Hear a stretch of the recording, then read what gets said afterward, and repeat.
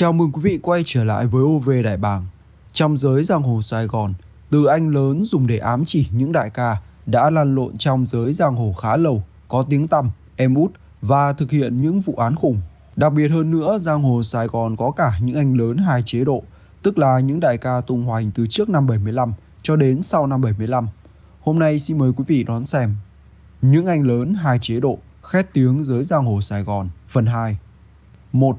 Nô Cao Giò là một trong những đàn anh trong giới giang hồ Sài Gòn bởi có tên tuổi trước năm 75 cho đến mãi sau này. Đặc biệt Nô Cao Giò còn là đàn anh của ông trùm Nam Cam, cái thời mà ông trùm này còn đi theo bảy si để gác me tại các sới bạc ở quận 4. Nô Cao Giò, một thanh niên trong xóm cũng thuộc loại có tiếng nói, Giò đã có lần tù tội. Lúc bấy giờ việc đi ở tù là ghê gớm lắm, trừ những ai đi làm quốc sự, ngoài ra đều được nhìn với ánh mắt e dè sợ sệt. Mười côn lôn được Nô Cao Giò đưa về xóm giới thiệu với bạn bè đồng trang lứa. Anh Mười là đàn anh của tao. Lời giới thiệu không cần phải dài dòng, nhưng hết sức hiệu quả. Nam Cam không cần biết nhiều, như thế là quá đủ để nó và các bạn ngưỡng mộ 10 cô lôn lắm. Nhưng rồi một lần anh Mười làm Nam Cam thất vọng. Vẫn là câu chuyện một núi không thể có hai cọp. Huống hồ con cọp đến sau, chưa có một thành tích nào khả dĩ thuyết phục các hảo hán địa phương. Hẻm 122 nổi tiếng từ lâu về việc sản sinh hàng loạt anh chị cho giới giang hồ bến tàu, đâu thể chấp nhận một tay lạ hoắc nào đó đến xưng hùng xưng bá ở con đường tôn đả này. Nhịp sống Sài Gòn hối hả vội vàng, sôi động, dễ đèn, gã thanh niên cùng hẻm chạy hớt hơ hớt hải. Ê năm cam, anh bảy của mày bị đón đường kìa. Buông chén cơm xuống bàn, Nam Cam lật đật chạy ra. Đi ngang qua cửa, y rút con dao lạn cá của tư sẩm phòng vệ. Đến đầu hẻm 148, Nam Cam thấy chiếc xe đạp nằm chỏng trơ giữa lộ nhựa.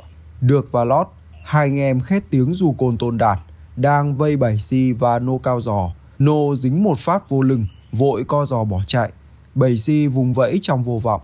Chúng liên tiếp mấy nhát dao, trong đó có nhát ở gần cổ khá sâu, máu loang ướt chiếc áo coi như chỉ còn chờ chết.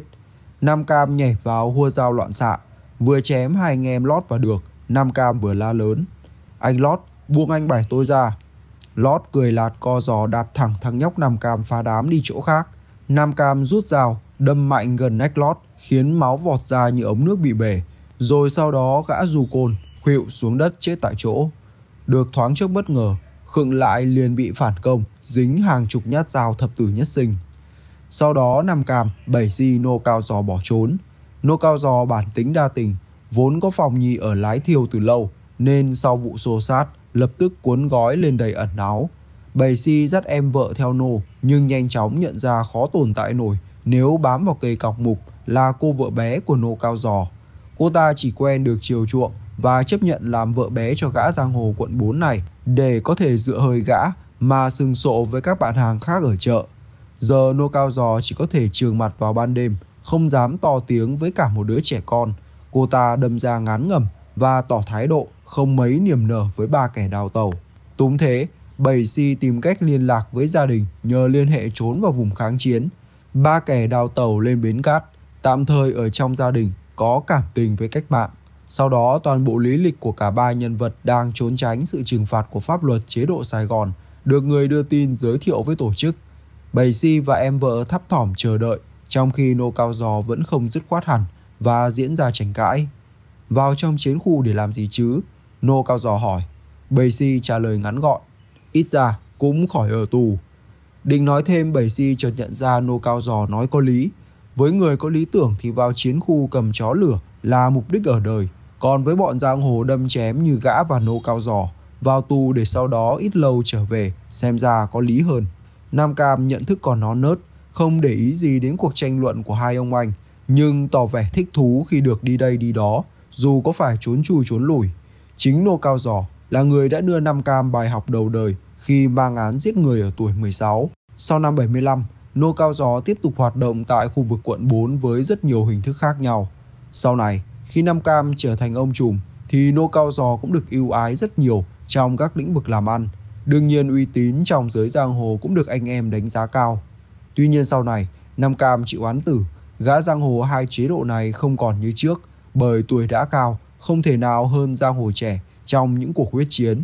Nhưng với uy tín của mình, Nô Cao Giò vẫn được giới giang hồ nhờ vả trong những chuyện hòa giải khi các nhóm có mâu thuẫn với nhau. Với uy tín của mình thì vẫn đủ cho Nô Cao Giò sống qua ngày đoạn tháng. 2. Huỳnh Tỷ là người duy nhất trong tứ đại thiên vương Sài Gòn trước năm 75, vẫn còn số má trong năm 75. Trước năm 75 thì Huỳnh Tỳ là một trong những giang hồ có tên tuổi, số má tại Sài Gòn với nhiều thành tích, từ huyết chiến với Đại ca Thầy rồi trở thành một băng hay chinh phạt cả vùng chợ lớn của người Tàu. Sau năm 75 thì số phận của đại ca này hơi lận đận. Huỳnh Ti vốn là gã nghiện nặng, sau khi giải phóng giang hồ không còn đất sống, Huỳnh Ti thường xuyên đói thuốc vã mồ hôi, phải xoay sang mánh mùng cỏ con, từ sóc bầu cua, tổ chức đánh chẵn lẻ đầu hẻm, đến bán lẻ và xài mai thúy để nuôi con và nuôi thân, chỉ mong được no cả dạ dày lẫn nỏ óc. Hậu quả là trong vòng 20 năm 1975-1995, Huỳnh Ti phải ra vào trại cải tạo nhà giam hơn chục bận. Khoảng đầu năm 1992, Huỳnh Ti đã liên kết với một số tên giang hồ hết thời như Minh Ba Giá, Lương Văn Lâm, Trần Thị Ngàn, Minh Bù, Lý Đồi, Thành Đô La tổ chức được một sòng bạc tại hẻm 98F Lê Lai, gồm cả đánh tài xỉu, chán lẻ và sóc đĩa. Chuyện đến tai Nam Cam, không kiêng để xót thương gì các đàn anh thất thế, Nam Cam ra lệnh dẹp ngay. Huỳnh Tì không nghe tiếp tục làm. Ngay lập tức, sòng bạc này liên tục bị trì điểm, bị công an khám xét nên không con bạc nào dám bén mảng. Biết là Nam Cam ra tay triệt hạ, Huỳnh Tì phải mang lễ vật đến ngọt nhạt năn nỉ, mời Nam Cam hùn vốn và được ông trùm đồng ý. Vì thế y mới tạm yên thân. Vốn mà Nam Cam góp vào là thành chân, tay giang hồ trẻ tuổi nhưng lão luyện, có đầu óc, được Nam Cam phái đến giám sát tổ chức sòng. Tên thứ hai là Lê Thị Điệu, vợ Thọ Đại úy, được Nam Cam đặc trách cho phép hành nghề cầm đồ và cho vay nặng lãi tại sòng. Ngoài phần ăn chia theo tỷ lệ hùn hạp, mỗi tuần Huỳnh Ti phải mang đến nộp cho ông trùm 5 triệu đồng tiền sâu. Tự đánh giá cao vai trò của mình, Nam Cam lại bắt Huỳnh Ti nộp thêm mỗi tuần từ 3 đến 5 triệu đồng nữa, gọi là phí ngoại giao, để ông trùm hương hoa cho các mối quan hệ nhằm bảo vệ sòng bài. Dù biết tổng đây là trò ăn chặn, tiền đưa ra chỉ chảy vào túi tham của Nam Cam, Huỳnh Tì vẫn phải cay đắng mở rộng hầu bao, không dám hó hé. Mối quan hệ hùn hạt này kéo dài từ đầu tháng 7 đến tháng 12 năm 1992 thì chấm dứt. Thời điểm này, tên tuổi của Nam Cam bị khui ra trên một tờ báo, cho rằng ông trùm sắp bị bắt, nghĩa là sẽ quay về vị trí thẳng nhãi, chẳng việc quái gì phải sợ. Huỳnh Tì bèn ngưng không cúm nộp tiền sâu và chuẩn bị trục xuất đàn em Nam Cam. Không biết là đòn trả thù của Nam Cam hay một sự trùng hợp ngẫu nhiên, nhưng chỉ biết rằng ngày 6 tháng 1 năm 1993, sòng bạc hẻm 98F bị công an bắt quả tang. Hơn 10 nhân viên của sòng tra tay vào còng, sổ khám. Vụ bố giáp này Huỳnh Tì may mắn cùng Minh Ba Giá thoát được, nhưng anh ta hiểu ngay đó là đòn trừng phạt của Nam Cam. Bị truy nã gắt gao, Huỳnh Tì không còn con đường nào khác, lại phải đi bằng đầu gối đến tạ tội và cầu cạnh Nam Cam. Ông Trùm lại dùng chiêu gia ân để lợi dụng. Sau khi gia ân, Nam Cam liền phái đàn anh đi tổ chức các sòng bạc khác ở quận 4, quận 8 và Biên Hòa. Nhưng xưa này, cái ác không thể thắng thiện.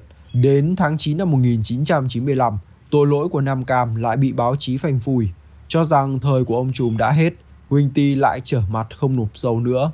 Không lâu sau đó, Nam Cam bị bắt đi cải tạo. Không còn ai bảo kê, ngày 31 tháng 10 năm 1995, Huỳnh Ti cũng bị tóm và ra tòa lãnh án tù. Sau này, khi cả Nam Cam lẫn Huỳnh Tì đều được trả tự do, Nam Cam đã cạch không cho tên đàn anh này bén mạc đến sòng bài của y nữa. Bị thất sủng, song với nhị ca mất số điều đó lại là điều may. Bởi chính vì mất số nên anh ta mới không thể trở thành bị cáo một lần nữa trong chuyên án Nam Cam và đồng bọn. Đó là điều an ủi cuối cùng của Huỳnh Tì, kẻ đã từng là một nhị ca lẫy lừng, trở thành một giang hồ giặt dẹo bị chính giang hồ coi rẻ. Nhưng hắn đã nói với nhiều tay giang hồ khác rằng hóa ra mất số ở ẩn cũng là may nếu không có khi đã bị bắt bên trong chuyên án Nam Cam. Với tội trạng như vậy cũng khó thoát án tử. Ngay đầu Huỳnh Tì xuất ngoại sang Úc, từ đó Tùng Tích không còn xuất hiện nữa. 3. Luông Điếc Cũng là một giang hồ hai chế độ khét tiếng Sài Gòn, người từng được xem như là ông trùm số 1 quận Bình Thạnh.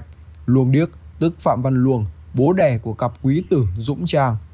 Luông xuất thân du đãng hàng đệ tử sai vặt, chuyên canh các sòng tài xỉu của hai đại ca vùng thị nghè là Cúc và Ba Trình. Trước năm 75 thì sòng của Ba Trình tại thị nghè là lớn nhất. Sau đó luồng điếc cũng thể hiện được bản lĩnh nên được gác tại sòng này. Luông Điếc cũng có người vợ cực kỳ nổi tiếng là Hà Trề, nữ quái số má tại Sài Gòn. Sau năm 1975, vợ chồng Luông Hà ra chợ trời Huỳnh Thúc Kháng mưu sinh.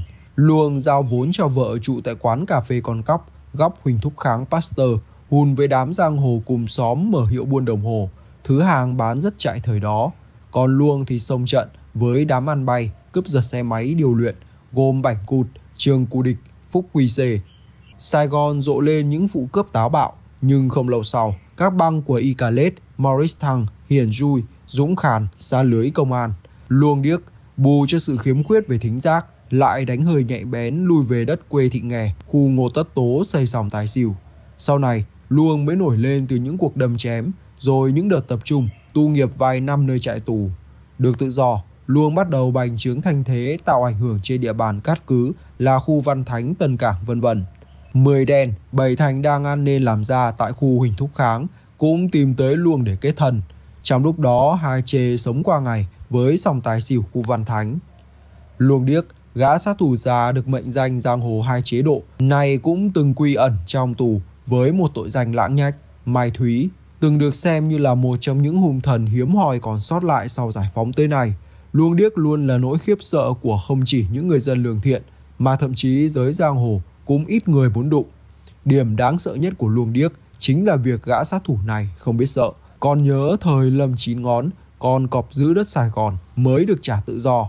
Tới như Nam Cam, còn phải nín thinh khi đứng trước mặt gã. Nhưng luông điếc thì không. Nhìn đám đàn em của Nam Cam bị oai danh của Lâm Chín Ngón dọa cho khiếp vía, luồng điếc nổi điên, vỗ ngực. Thằng ra đó là cái thá gì chứ? Thích thì để tôi xử đẹp luôn. Thậm chí khi bị bắt, hai tay bị kè chặt bởi cảnh sát, luồng điếc còn chẳng ngại ngần tặng cho một phóng viên cú đá như trời giáng vì tội dám quay hình gã. Sau này, sau nhiều năm tháng tung hoành, luồng điếc với tuổi già đành phải gác kiếm nhưng số má trên giang hồ vẫn còn rất được nể trọng. Tuy nhiên ngày đầu cách đây vài năm, luông điếc đã qua đời trong một lần về bến tre trời. 4. Icalet cũng là một giang hồ hai chế độ bởi từng tung hoành trước những năm 75 với chiến tích giết Sơn Đảo cũng như sau năm 75 còn gây ra rất nhiều vụ cướp kinh thiên động địa khác. Từ những năm 70 của thế kỷ trước, Trang với nhàn sắc làm đổ gục tay giang hồ số 1 Sài Gòn là Vũ Đình Khánh tức Sơn Đảo và đốn gục luôn ông trùm mới phất lên trong thế giới buôn bán xỉ kè là Icalet tức Phạm Bá Y, chắc hẳn là đẹp lắm. Khi Sơn Đảo và Icalet cùng theo đuổi một mục tiêu, một cuộc chạm trám ắt có đã xảy ra vào ngày Tết.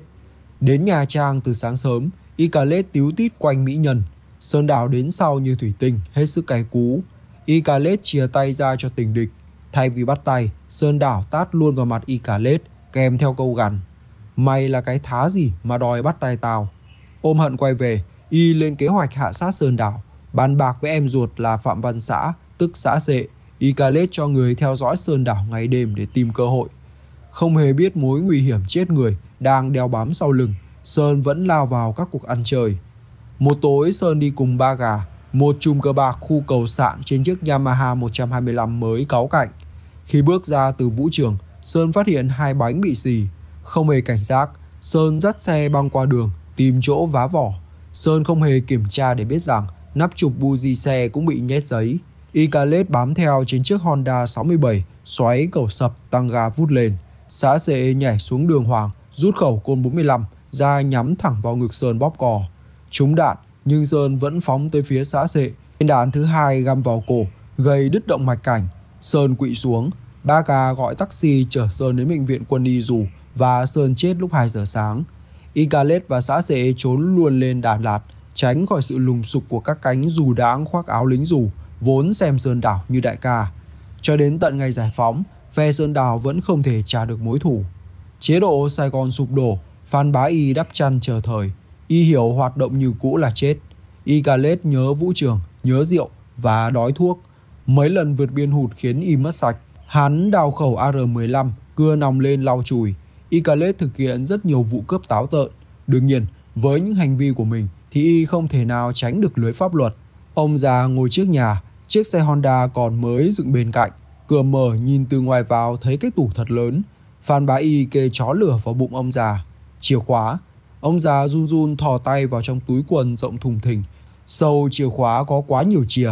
Y dùng báng hàng bóng đập vào các ổ khóa tủ và cua hết vòng vàng, tiền bạc cho vào túi sách chuẩn bị sẵn. Phan Bá Y quay ra, chìa khóa cắm sẵn, Y nhảy lên xe đạp máy rổ ga. Chiếc xe trồm lên rồi ngã ngang vì bị khóa bằng xích bánh trước. Phan Bá Y bị cái xe đè lên, đúng chỗ cái chân bị tật.